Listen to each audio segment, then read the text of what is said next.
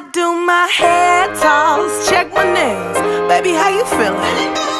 Hi guys, this is to be a review on the Coco Black Hair 360 Exotic Curly Wig that I did order. Um, so, they had very fast shipping. It came in this box. And it also has um, little directions on the back too.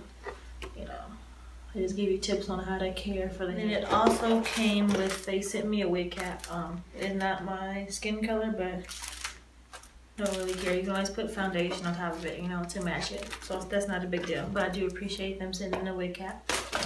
Um, I got this unit in 18 inches um, in medium brown lace. Um, and it says it's supposed to be a 200% density, but I'll talk to you about that later. This is the wig. Um, this is the curl pattern of it. It looks almost identical to the one they had on the website.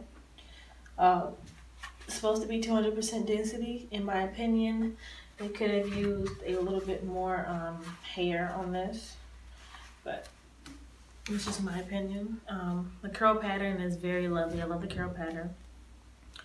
Um, you guys can see the hairline on it.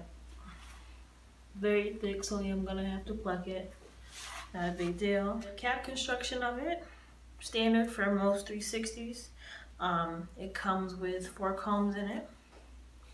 You have the three, one in the front, and then the two on the sides. Your temples, and you have the one in the very back.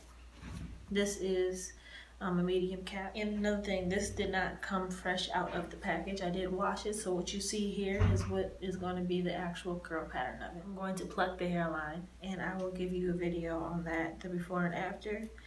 Um, bleach knots. Oh, it's another thing. So, I did attempt to bleach these knots. Um, this hair is actually in a 1B. It's not a natural color. And one thing that I learned so far is when, when the wigs come um, pre-dyed, it is very hard to bleach the knots. If you can, if you can, you can. I could not personally bleach the knots. Um, I did, however, get the very front ones a little bit, but as far as me getting down to it, really, I did not, really, I wasn't really able, successful to bleach the knots. Um, so that's my only grief about it. But other than that, it has a beautiful um, curl pattern. I do wish it was a little bit fuller, but um, we'll see how it turns out. So. Ooh, child, tired of the bullshit. Gone, dust your shoulders off. Keep it moving, yes, Lord. Trying to get some new shit in there. Swimwear, going to the pool shit. Come now, come dry your eyes. You know you a star, you can touch the sky. I know that it's hard, but you have to try. Back to show you guys what the unit looks like on my head. So I did still use my um, Ghost Bond glue to apply this unit on. Um, I think I could have did a little bit more this time, but I was kind of in a rush, you know. You guys can see edges on this one. Um, I'm not a real big fan of baby hairs. I think it just sometimes make it look um, a little bit too fake. Sometimes people do their baby hairs too much. I did do like two mini itty bitty swoops. You can't really see them like that in the front, but I did use mousse. Um, I've learned to not use any edge control because after a while, um, it just makes your lace all gunky and sticky and gooey. So I do not use um, any products like that that are very thick. I just use the mousse and those can lay it down if you happen to put enough on it. Uh, this is what this side looks like. The edges. Um, as you guys know, this is a medium cap, medium brown lace. Only thing that I would complain about is that I could not bleach the knots on this unit, and that is, um, at least from my personal experience, because I got this in a 1B and not a natural color. All my natural color units that I have ordered, I have been able to bleach the knots on them. I could not bleach knots on this one, so it does. When you get up close, it looks, you can see the um, knots on this one, which I don't really like, but you know, compensate for that. The curl pattern is very lovely. I like it. Um, I did do some teasing to the wrist to make it a little bit fuller. So this is just straight. I didn't cut this or anything at all. Um, I used a paddle brush to get these curls. I did not use a Denman brush. I just wanted them to be really full.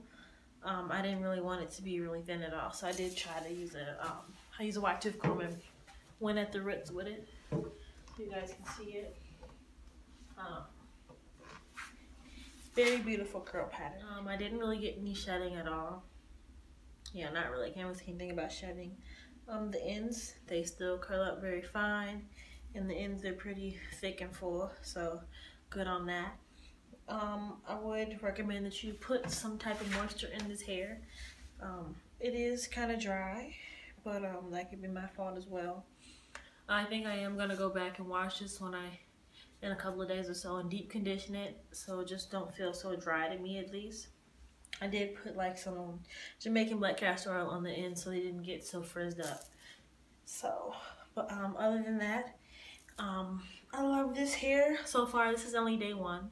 Day one, I had this in for about the whole day. So, more than 12 to 15 hours. I did it this early this morning. I'm shooting this at night. So, I had it in for a good minute.